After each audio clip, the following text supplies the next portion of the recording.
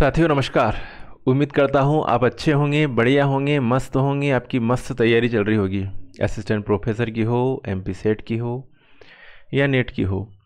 साथियों, आज हम चर्चा करने जा रहे हैं वेरी इंपॉर्टेंट टॉपिक है हीटिंग इफ़ेक्ट और हीटिंग इफ़ेक्ट से अगर आपके कॉन्सेप्ट क्लियर है तो एक हाथ क्वेश्चन बनेगा ही बनेगा, और इजी वे में आप जो है करके आओगे। कभी गलत नहीं करके आओगे। जो सोच रहे हो, वहाँ से कि यहाँ से ये चीज़ कॉन्सेप्ट बैठती है तो वो बैठती है।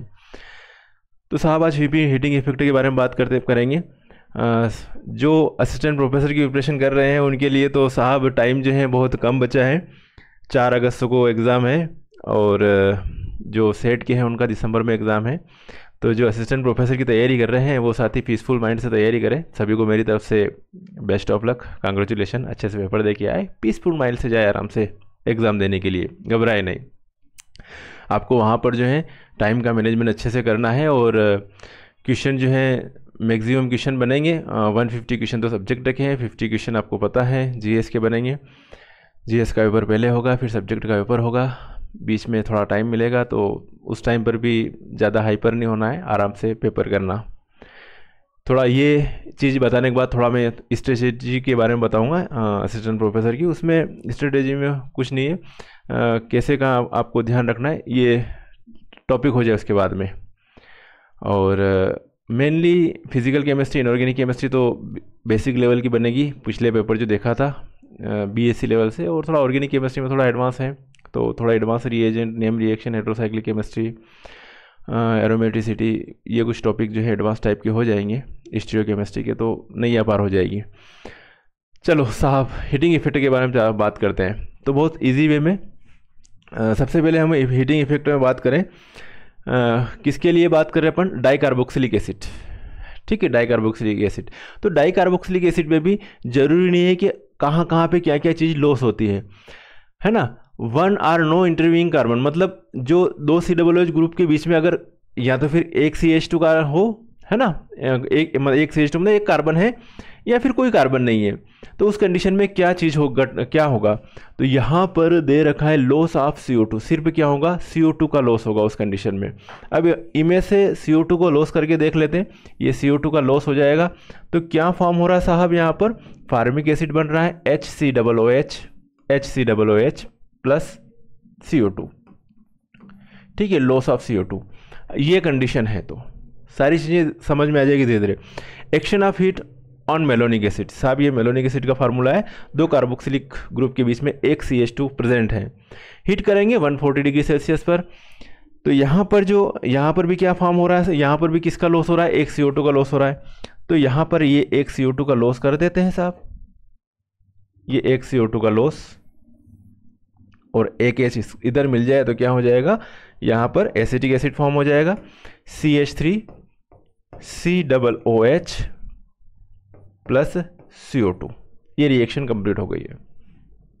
ठीक है? मेलोनिक एसिड से एसिटिक एसिड फॉर्म हो रहा है यहाँ पर 140 डिग्री सेल्सियस डिकम्पोज होगा मेलोनिक एसिड का तो। यहाँ पे ऑक्जेलिक एसिड का डिकम्पोजिशन होगा तो फार्मिक एसिड फॉर्म हो रहा। क्लियर है? ओके चलिए ऑक्सिलिक एसिड की डिकम्पोजिशन से फार्मिक एसिड एसिटिक एसिड अब कहानी थोड़ी चेंज हो जाएगी। आगे बात करें। यहाँ पर टू और थ्री इंटरव्यूइंग कार्बन है। दो कार्बोक्सिलिक ग्रुप के बीच में। एक सी एच टू यहाँ पर है और एक सी एच टू आपका प्रेजेंट यहाँ पर है दो है। तो अब क्या होगा साहब? उस कंडीशन में ध्यान रखना, ये कंडीशन में आप सी ओ टू निकालना नहीं है। उस कंडीशन में आपको क्या करना है? उस कंडीशन में आपको लॉस किसका करवाना है? H2O का लॉस करवाना है। लॉस होगा, किसका होगा? लॉस H2O होगा। यहाँ CO2 का लॉस हो नहीं रहा है। यदि आपके पास दो या तीन इंटरव्यूइंग कार्बन हो, दो कार्बोक्सिलिक एसिड के बीच में हीटिंग करवा रहे हैं 100 से 150 डिग्री सेल्सियस पर। साहब, यहाँ पर जो है, अगर लॉस अगर एच का हो गया यहाँ पर तो सक्सिनिक ये सक्सिनिक एसिड है ना? सक्सिनिक एसिड सक्सिनिक एसिड और सक्सिनिक एसिड से क्या फॉर्म हो जाएगा? सक्सिनिक एनहाइड्रेट फॉर्म हो जाएगा। तो H2O का लॉस हो रहा है। यहाँ पर ये सी एच टू है, ये सी एच टू है, ठीक है? यहाँ पर ये C है, ये डबल बॉन्ड O है, एक ऑक्सीजन और बैठा हुआ है यहाँ पर, और यहाँ पर ये सी डबल बॉन्ड ओ और ये एच टू निकल जाएगा। एच टू का लॉस हो गया, और ये जो फॉर्म हो गया, ये हो गया succinic anhydride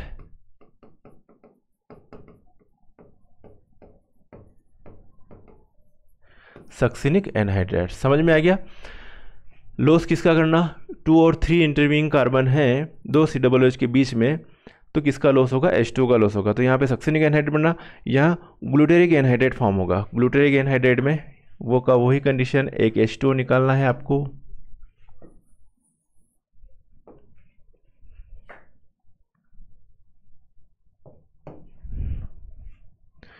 C H two C H two okay.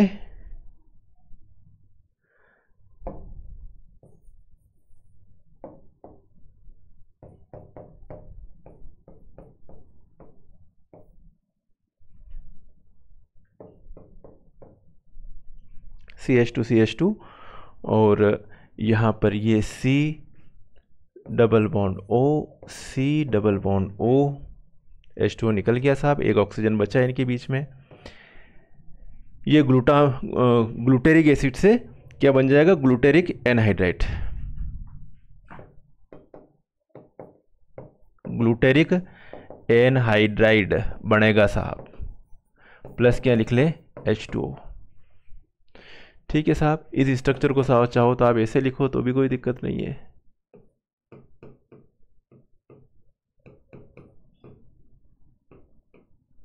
इसी स्ट्रक्चर को आप ऐसे भी लिख सकते हो।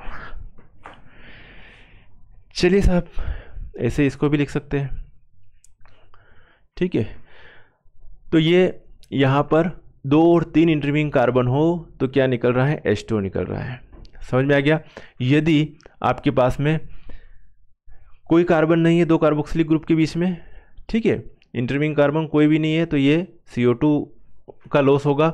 इस कंडीशन में H2 का लॉस हो रहा। अब साहब आगे बात करते हैं। Action of heat on adipic acid adipic acid. यहाँ पर फोर या फाइव इंटरविंग कार्बन है, दो सीरोबोलोज के बीच में। इसमें चार कार्बन प्रेजेंट है। इसमें फाइव कार्बन प्रेजेंट है। तो क्या हो रहा? उस कंडीशन में याद रखना साहब CO2 का भी लॉस करवा देना और H2O का भी लॉस करवा देना। CO2 का भी लॉस करवा देना और H2O का भी लॉस करवा देना। ठीक है? इस कंडीशन में CO2 और H2O दोनों का लॉस करवाना है। तो करवा देते हैं साहब CO2 का लॉस भी और H2O का लॉस भी। तो यहाँ से एक CO2 निकाल दो और एक H2O निकाल दो। ये एडीपी एसिड है। सी डबल एच के बीच में वन टू तीन, चार सी एच टू ग्रुप जुड़े हुए हो, उसको कहते हैं C double O H C H two four C double O H ये एडिपिक एसिड है। अब साहब हीट करेंगे 300 डिग्री सेल्सियस पर। तो यहाँ पर क्या फॉर्म होगा साहब? साइक्लोपेंटेनॉन फॉर्म होने वाला है।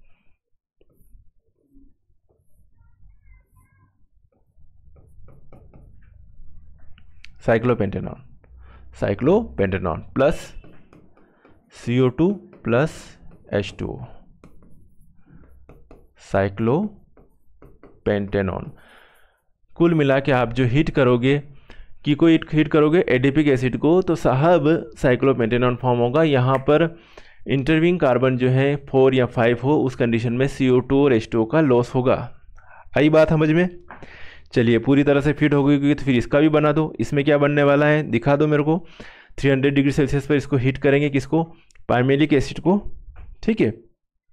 तो इसमें, इस कंडीशन में, इसमें भी वही कंडीशन सेम कंडीशन आप CO2 का लॉस करवा दो, आप H2O का लॉस करवा दो।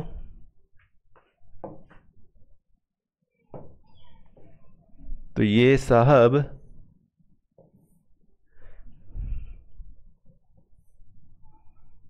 ठीक है, ये हो जाएगा one two three four five five carbon है।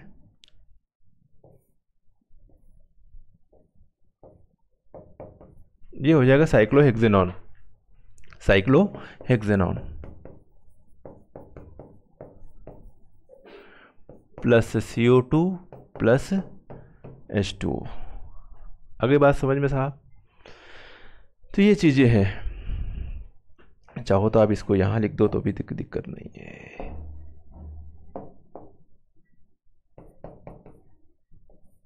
समझने के लिए ठीक है साहब। एक सी ओ तो साइक्लो एक फॉर्म होगा। समझ में आ गई? ये ये ये करामात हैं बस। अगर दो कार्बोक्सिलिक एसिड के बीच में या तो फिर सी एच टू प्रजेंट है, एक सी एच टू या फिर कोई सी एच टू प्रजेंट नहीं है तो उस कंडीशन में सिर्फ़ सी ओ टू का लॉस करवाना। अगर दो या तीन सी एच टू प्रजेंट है, ठीक है, दो या तीन सी एच टू प्रजेंट है तो आपको किसका लॉस करवाना? एच टू का लॉस करवाना। अगर ये कंडीशन है कंडीशन ये है कि यदि चार या पाँच C H two group present हो ओके या पाँच कार्बन प्रेजेंट हो तो उस कंडीशन में आपको जो है सी ओ टू रेस्टो दोनों का लॉस करवाना है। तो ये डाई कार्बोक्सिलिक एसिड के ऊपर अपनों ने हीटिंग इफ़ेक्ट की बात करी है। ठीक है? डिपेंड करेगा चेन लेंथ कितनी है। चेन लेंथ में जितने ज़्यादा जैसे जैसे कार्बन बढ़ते जाएँगे, उस कंडीशन में हीटिंग इफ़ेक्ट अलग कंडीशन में शो होता जाएगा। वेरी इंपॉर्टेंट क्वेश्चन है मेमोराइज वाला क्वेश्चन है, और याद भी रखना पड़ेगा आपको। अब बात करते हैं कुछ action of heat on hydroxy acid की बात करते हैं। हाइड्रोक्सी एसिड की बात करते हैं। तो यहाँ पर जो सबसे पहले अपन हाइड्रोक्सी एसिड ले रहे हैं, वो अल्फ़ा हाइड्रोक्सी एसिड ले रहे हैं। अल्फ़ा हाइड्रोक्सी एसिड इसको अल्फ़ा क्यों करा? सी डब्ल्यू एच के से जस्ट पहले वाली पोजीशन को उसको अल्फ़ा पोजीशन कहते हैं। और जहाँ पर ओ OH प्रेजेंट है तो इसको अल्फ़ा हाइड्रोक्सी एसिड कह दिया अपनों ने। हमारी बात समझ में आ गई? तो अल्फ़ा हाइड्रोक्सी एसिड है। कुछ भी दिमाग लगाने की ज़रूरत नहीं यहाँ पे क्या हो रहा है? एच टू का मालिकूल निकल रहा है। तो सी डब्ल्यू एच के ओ एच ठीक है? यहाँ से एच निकल जाएगा, यहाँ से ओ OH निकल जाएगा। मेरी बात समझ में आ रही है? ऐसे ही इधर से भी हो जाएगा। ये एच ओ एच निकल गया। तो दो एच टू के मालिकुल निकल गए। बस जोड़ दो इनको। ये सी एच ये यहाँ पे लिखा R C double bond O. ठीक है, इधर ये ऑक्सीजन, ऐसे ये सी डबल बॉन्ड ओ। एक ऑक्सीजन है यहाँ पर तो ये ऑक्सीजन, ये, और यहाँ पर ये C H cyclic ester form हो गया। इसको कहेंगे साइक्लिक एस्टर। क्लियर है साहब? Six membered cyclic ester.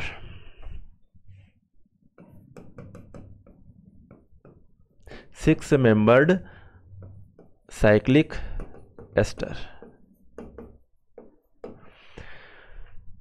alpha hydroxy acid को हीट करेंगे तो आपको, आपके पास मिलेगा six membered cyclic ester form होगा। क्लियर है? एक क्वेश्चन और action of heat on beta hydroxy acid यहाँ पे बीटा पोजीशन पर ओ है तो बीटा हाइड्रोक्सी एसिड कहा है इसको? और अगर ये जो होगा तो उस कंडीशन में क्या होगा? एच टू यहाँ पर होगा अल्फ़ा बीटा अनसेचुरेटेड एसिड बन जाएगा। अल्फ़ा, बीटा अनसेचुरेटेड एसिड बन जाएगा। यहाँ से ओ एच एच निकल जाएगा, अल्फ़ा, बीटा, अल्फ़ा और बीटा के बीच में डबल बॉन्ड आ जाएगा। तो ये लिख लिया मैंने R C H double bond C H C double O H alpha, beta unsaturated acid form हो जाएगा। Alpha, beta unsaturated acid form हो जाएगा। क्लियर है साहब? चलिए, आगे बढ़े। Action of heat on gamma hydroxy acid gamma hydroxy alpha beta gamma position पर ओएच है। तो गामा हाइड्रोक्सी एसिड है तो क्या होगा? अब कार्बन की संख्या जैसे जैसे बढ़ती गई, वैसे वैसे अब क्या है? साइक्लिक कंपाउंड फॉर्म हो जाएगा। तो साइक्लिक कंपाउंड फॉर्म होगा तो उस कंडीशन में क्या होगा साहब? कि यहाँ से H2 निकल जाएगा। ओके क्या निकल जाएगा? H2 निकल जाएगा। देखते हैं कैसे बनाए इस स्ट्रक्चर को R फिर ये लिया मैंने सी एच फिर ये लिया मैंने सी एच टू ओके फिर ये लिया मैंने सी एच टू और फिर ये इधर जो है सी एच टू और ये ओ एच निकल गया ना? तो ये ये वाला एक ऑक्सीजन है, इस सी एच टू और ये एक ऑक्सीजन यहाँ आ जाएगा बीच में, और ये जो है C double bond O gamma hydroxy acid से इसको कहेंगे गामा इलेक्ट्रॉन फॉर्म हुआ गामा इलेक्ट्रॉन फॉर्म हो गया। ठीक है? स्क्रीनशॉट लेते रहना चाहो तो साथ के साथ में क्या फॉर्म हो गया? गामा इलेक्ट्रॉन फॉर्म हो गया। सेम इसी इसमें भी कंडीशन होगी। डेल हाइड्रोक्सी एसिड है। डेल हाइड्रोक्सी एसिड तो डेल इलेक्ट्रॉन इलेक्ट्रॉन फॉर्म हो जाएगा। कुछ नहीं करना, यहाँ से ओ OH और यहाँ से H माइनस एच टू हो जाएगा। क्लियर है साहब? ठीक है? हम्म चलिए। बेसिक वैसे आर यहाँ पर ये सी एच फिर ये ले रहा हूँ मैं सी एच टू ओके? फिर ये सी एच टू फिर अगला C H two one two three four यहाँ पे बचा C double O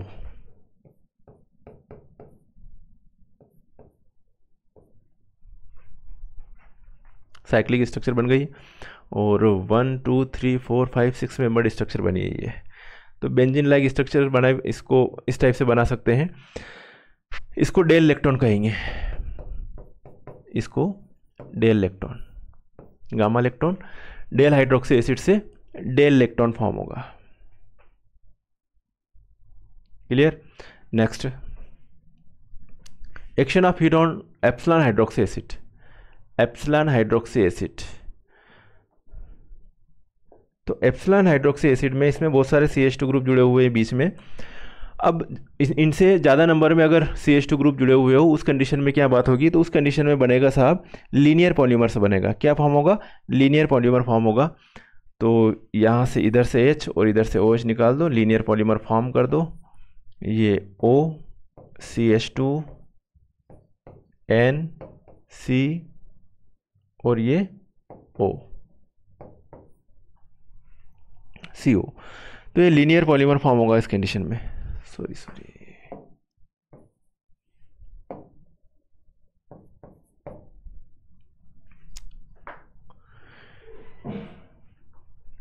action of heat on gamma hydroxy acid क्या फॉर्म होगा? लीनियर पॉलीमर लीनियर पॉलीमर और एच तो निकल ही रहा है एन तो ये है, मैंने आपको बताया हीटिंग इफ़ेक्ट की बात करी है, और हीटिंग इफ़ेक्ट में अपनों ने हाइड्रोक्सी एसिड के ऊपर हीटिंग इफ़ेक्ट की बात करें तो किस किस कंडीशन में क्या बन रहा है? यहाँ से साहब क्वेश्चन फॉर्म बनता है, यहाँ से क्वेश्चन बन सकता है, याद रखिएगा, ठीक है? और मेमोराइज कीजिएगा। ये चीज़ मैंने बताई है आपको, बिल्कुल सामान्य कंडीशन में कि क्या क्या होता है। ऑक्जेलिक एसिड का हीट करेंगे तो फार्मिक एसिड बनेगा और मेलोनिक एसिड को हीट करेंगे तो एसिटिक एसिड बनेगा। यहाँ पर सी का लॉस हो रहा है। इस कंडीशन में एच का लॉस हो रहा है। यदि इंटरविंग कार्बन दो या तीन हो, उस कंडीशन में एच का लॉस हो रहा है। यहाँ पे सक्सिनिक एसिड से सक्सिनिक एनहाइड्रेट बन रहा है और ग्लूटा ग्लूटारिक एसिड से ग्लूटारिक एनहाइड्रेट फॉर्म हो रहा है। ये चीज़ भी मैंने बता दी आपको। साहब, ज़्यादा कार्बन हो फोर या फाइव इंटरविंग कार्बन हो तो उस कंडीशन में क्या फॉर्म होगा? तो यहाँ पर जो है एडिपिक एसिड से साइक्लोपेंटेनॉन बन रहा है, याद रखना, और इससे साइक्लोहेक्सेनॉन फॉर्म हो रहा है। किससे? पाइमिलिक एसिड से। तो अब तो ये चीज़ हो गई साहब। अब थोड़ा सा मैं आपको जो असिस्टेंट प्रोफेसर की एग्ज़ाम दे रहे हैं, उनके लिए थोड़ी सी और चर्चा कर लेता हूँ। चर्चा फाइनल स्ट्रेटेजी जनरल स्टडीज़ का बहुत टेंशन हो रहा होगा, कि कैसे क्या होगा। तो थोड़ा मेन मेन रिवाइज तो करना पड़ेगा क्योंकि मिनिमम क्वालिफाई मार्क्स भी लाना पड़ेंगे। लेकिन मैंने स्ट्रेटेजी बताई थी कि अगर आपको जो है कम से कम क्वेश्चन भी आ रहे हैं और लास्ट में एक कामन जो है आप बीबी या सीसी जो भी हैं ऑप्शन पकड़ ले, लगा लेना, उसमें से कुछ तो वो सही हो जाएँगे और बाकी जो है अगर आपको पंद्रह सत्रह क्वेश्चन भी आ रहे हैं तो आपकी बीस से ऊपर क्वेश्चन बन जाएँगे, सही हो जाएँगे। तो जनरल स्टडी को आप जो है थोड़ा मेमोराइज ज़रूर कीजिएगा क्योंकि इसमें जो है क्या करना है आपको? मिनिमम क्वालिफाई मार्क्स तो लाने लाना। और आपका जो स्कोरिंग जो होगा ना रिवाइज इसको भी करते रहिएगा। टाइम बहुत कम है, अभी ये सोच रहे होंगे कि ये पढ़े, वो पढ़े, लेकिन फिर भी अपना माइंड जो है पीसफुल रखे और जो पढ़ रहे वो पढ़ते रहे। सिलेबस के अकॉर्डिंग रिवीजन करते रहें, चीज़ें देखते रहें। जो आपने जो इतना टाइम हो गया पढ़ते पढ़ते तो हो सकता है आपने शार्ट नोट्स भी बनाए तो देखना ही उसको। केमिकल साइंस में ज़्यादा टेंशन ना ले, क्योंकि यहाँ पर जो है आपको टारगेट पूरा करना है 150 क्वेश्चन अटेम्प्ट करके आना है, कोई नेगेटिव मार्किंग नहीं है, इसलिए सभी क्वेश्चन को कम से कम पढ़ना तो पड़ेगा ही पड़ेगा। ठीक है तो ज़्यादा कैलकुलेटेड क्वेश्चन है, ज़्यादा लेंथी क्वेश्चन है, उनको छोड़ते जाए और आगे बढ़ते जाए और पेपर अपना जो है पीसफुल माइंड से पेपर करें। फ़िज़िकल केमिस्ट्री में मैं ये कहूँगा कि फ़िज़िकल केमिस्ट्री में ज़्यादा हाई लेवल के क्वेश्चन ना करें। बीएससी लेवल की जो मैथमेटिक्स हैं मैथमेटिकल क्वेश्चन है, वो कर लें इलेक्ट्रोकेमिस्ट्री में और इलेक्ट्रोकेमिस्ट्री में और केमिकल काइनेटिक्स में। इनमें से क्वेश्चन बनेंगे कुछ न्यूमेरिकल बाकी हाई न्यूमेरिकल टाइप के वो ज़्यादा कैलकुलेटेड क्वेश्चन या ज़्यादा वो नहीं करे, जो सिंपल फार्मूला बेस्ड है, वो क्वेश्चन कर ले तो उनमें काम चल जाएगा। क्योंकि जितना ज़्यादा उलझोगे, वहाँ पे आपके पास टाइम नहीं मिलेगा। टाइम इंपॉर्टेंट है। इनऑर्गेनिक केमिस्ट्री भी जो बेसिक है, आपने कर रखी होगी। ज़्यादा इतनी एडवांस नहीं पूछी जाती, लेकिन जो सिलेबस के अकॉर्डिंग है, वो देख लेना। Basic to advance organic chemistry में ज़रूर है, बहुत सारी चीज़ें आएगी ऑर्गेनिक केमिस्ट्री में। ऑर्गेनिक केमिस्ट्री में आपके जो है, जो मेनली टॉपिक जो ध्यान में रखने आपको नेम रिएक्शन से क्वेश्चन बनेंगे बनेंगे रीएजेंट से क्वेश्चन बनेंगे बनेंगे। कुछ क्वेश्चन स्पेक्ट्रोस्कोपी से भी बनेंगे तो स्पेक्ट्रोस्कोपी भी करके जाइएगा। थोड़ा इतना ज़्यादा एडवांस नहीं, लेकिन बेसिक क्वेश्चन बनेंगे स्पेक्ट्रोस्कोपी के। हेट्रोसाइक्लिक केमिस्ट्री हैं बायोमालिकुल से क्वेश्चन बनेंगे ऑर्गेनिक केमिस्ट्री में एरोमेटिसिटी से बनेंगे, कुछ क्वेश्चन आई नेमिंग से ही बन सकते हैं मेडिसिनल केमिस्ट्री इन्वायरमेंटल केमिस्ट्री इनसे क्वेश्चन 2017 के पेपर में पूछे गए हैं साहब। तो ऑर्गेनिक केमिस्ट्री थोड़ा अच्छे से करिएगा। बाकी 2017 का पेपर देखें तो ज़्यादा इतना भी एडवांस नहीं था मॉडरेट पेपर था, और जिन्होंने स्टडी अच्छे से कर रखी हो, वो अच्छे से क्वालिफाई कर सकते हैं। यहाँ पे नॉलेज का नहीं है नॉलेज तो सभी को है, सभी नेट सेट क्वालिफाई हैं, बस आपकी स्ट्रेटेजी क्या है, ये इंपॉर्टेंट रोल रखेगी कि आपके जो तीन घंटे हैं, वहाँ पर जो पेपर दे रहे हो, उसमें आपका माइंड क्या है पीसफुल माइंड है या नहीं है। क्वेश्चन आते हुए गलत नहीं होने चाहिए, बस ये ध्यान रखना, जो क्वेश्चन आते हुए उनको सही करके आना। ठीक है साथियों? सभी को बेस्ट ऑफ़ लक जो असिस्टेंट प्रोफेसर की एग्ज़ाम देने जा रहा है, चार अगस्त को। और मेरे द्वारा भी M P M P assistant professor और एम पी सेट का कोर्स जो है करवाया जा रहा है। असिस्टेंट प्रोफेसर का एग्ज़ाम अब बहुत जल्दी है, चार अगस्त को है। लेकिन एम पी सेट का एग्ज़ाम दिसंबर में है। तो एम पी सेट के जो साथी हमसे जुड़ना चाहते हैं एम पी सेट की जो प्रिपरेशन कर रहे हैं, वो हमसे जुड़ सकते हैं। मेरे सभी तरह के जो मेरे सेल्फ प्रिपेयर नोट्स भी मिलेंगे, आपको रिकॉर्डेड वीडियो भी मिलेंगे और पूरी स्ट्रेटेजी मिलेगी कि आपको जो है कैसे सिलेक्शन देना है। पीजीटी में भी काफ़ी सिलेक्शन दिए थे और पीजीटी के से कोर्स से ही काफ़ी जो है सेट में सिलेक्ट हुए थे। अभी स्पेशली सेट का कोर्स लॉन्च किया गया है specially M P assistant professor का कोर्स लॉन्च किया गया है। तो वो तो पेपर के बाद ही पता चलेगा, लेकिन मेरी ये उम्मीद है कि ज़्यादा से ज़्यादा लोग सिलेक्ट हो और ज़्यादा से ज़्यादा लोग सिलेक्ट होंगे, क्योंकि ईमानदारी से मैंने प्रयास किया है, ईमानदारी से मेहनत करी है। ठीक है साथियों, सभी को बेस्ट ऑफ़ लक कॉन्ग्रेचुलेशन मिलेंगे फिर नेक्स्ट वीडियो में। तब तक के लिए ओके बाय जय हिंद।